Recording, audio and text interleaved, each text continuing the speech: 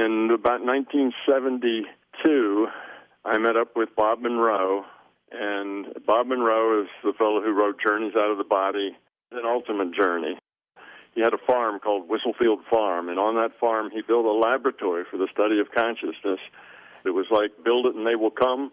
He built it, and myself and another friend of mine who was an electrical engineer, we ran into Bob, and Bob was looking for some scientists to study consciousness, and we volunteered with the idea that he would teach us what he knew about out of body and, and that sort of thing, and we would be his free scientists that would make sure we had good protocols and did research.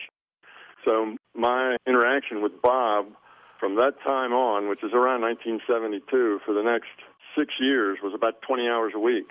We'd go out every evening after work, and from 6:30 or 7 in the evening all the way like 2 o'clock in the morning, we'd spend with Bob in the lab, and then we'd come out on weekends.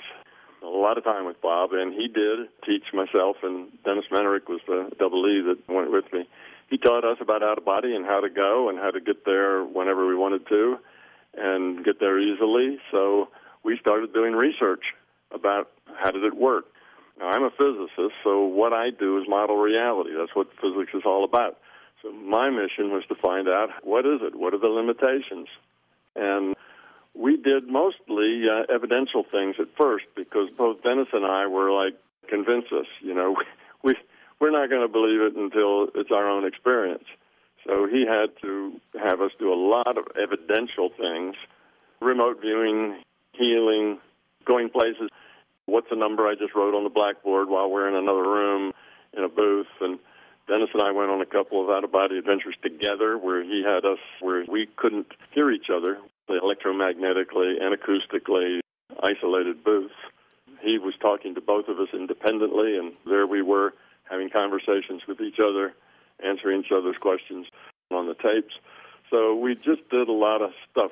So that's where my background consciousness studies comes from. It's really mathematics. It's computer code that's computing our reality. So we've got all kinds of experiments that show the same thing that Gates did. You look into reality close enough, and what you find is that it's not material. It's information based. Information based means it's computed. Computed means first computer code, and if there's computer code, you're going to find error correction.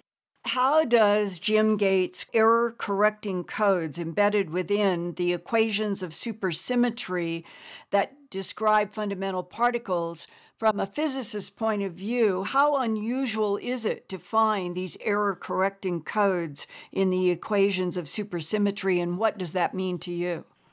Yeah, well, you see, what he's done is he's taken string theory and in order to model our reality, they have to use equations to do that. And then in those equations, lo and behold, there looks like there's computer code. An information system wants to evolve by lowering its entropy, and it does that by organization.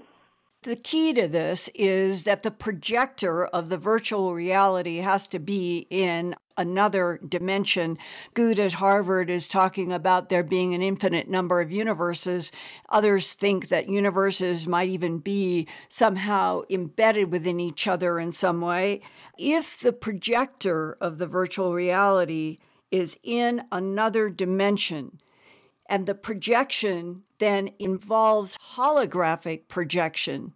That would explain why there is this merger of two concepts the holographic universe and the simulated computer universe, because what's being projected is holographic from the macro down to the micro? The holographic universe is a nice metaphor, but there's no need for holography to, to get involved in it at all. The simulated universe doesn't need holography to make any connections. It simply computes a data stream. The data stream is sent to a player. The player interprets that data stream as the virtual reality. Everything takes place in consciousness. Consciousness is the computer, consciousness is the player. That's what's going on. The whole game is played in consciousness. The Matrix movie didn't need any holography either that's just an additional complication that's unnecessary to get to the answer. Although it, it is a popular metaphor, partly because in a hologram, every piece of it has the information of the whole.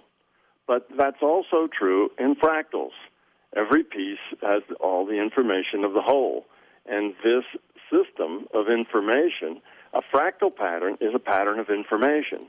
That's why a computer can compute fractals, because it's just information. And the fractal has that same attribute of all the information, part of the whole.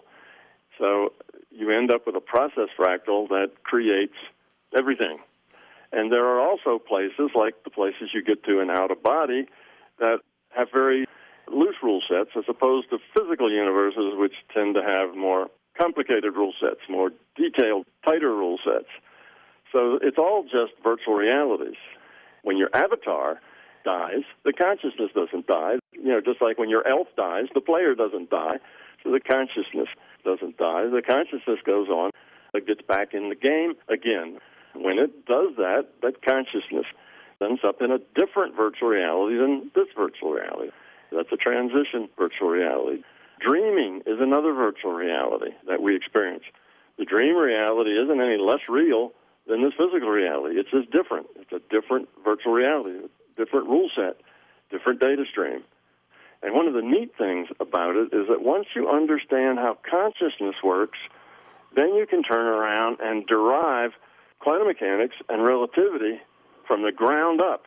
And the amazing thing is that when you do that, quantum mechanics and relativity now get along with each other rather than being opposed to each other. And quantum mechanics is no longer a weird science. It's just a logical science. You can look at a quantum mechanical problem and just look at the logic of it and say what the answer is. You don't need to do a lot of math.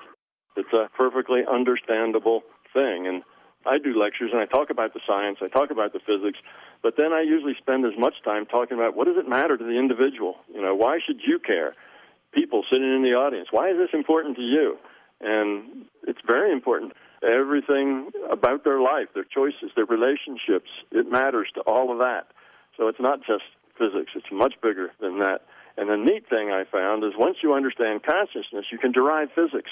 You see, the causality runs the other way. It doesn't run from the physical world to the brain, and then the brain somehow creates consciousness. That's wrong. It doesn't run that way. Causality runs from consciousness to a virtual reality to the rule set which orders this virtual reality. So once you understand consciousness, you can take that same understanding and come up with a logical quantum mechanics that isn't weird science. What will the consequences be if you, with your colleagues in this new paper on testing the simulation hypothesis, end up with a confirmation that we are in a computer simulated universe? What are the consequences for physics, space travel, us, any practical consequences? Yes, there's some huge consequences. I mean, there's always consequences to science, but that's not the major consequence. Science will change from the ground up. It will have to get rid of its beliefs in a material reality and will have to see this in terms of information. And that will make a huge difference. But that step brings into question well, if this is a simulation, who's in charge? Right. Who's the programmer? Where is it simulated from? So suddenly questions about this being not the reality, but a, a subset of something bigger. And what is this bigger thing? You see, it brings up all of those metaphysical questions, suddenly have scientific rigor because scientific rigor says this is a virtual reality, then it cannot be computed from inside this virtual reality. It has to be computed from other, elsewhere, from another reality frame. And so consciousness must be in another reality frame.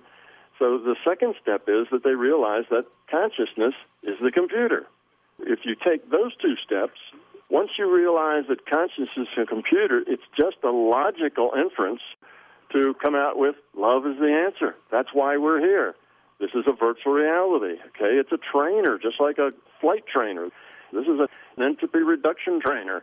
And suddenly, if love is the answer, cooperation, caring about other is the way you evolve, and this self-centered fear thing, fear is the way you de-evolve.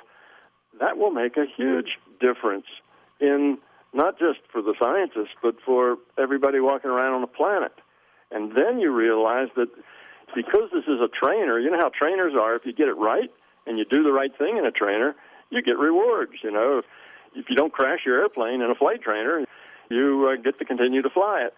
So people will realize that as they work in the direction that they're meant to work in, what our goal is, what our challenge is, and our mission is, everything starts to work good. Instead of a constant struggle, you find that life is good. You find happiness. You find satisfaction. All of the good stuff starts to fall at your feet once you start cooperating with the system and growing up and getting rid of the fear and becoming love.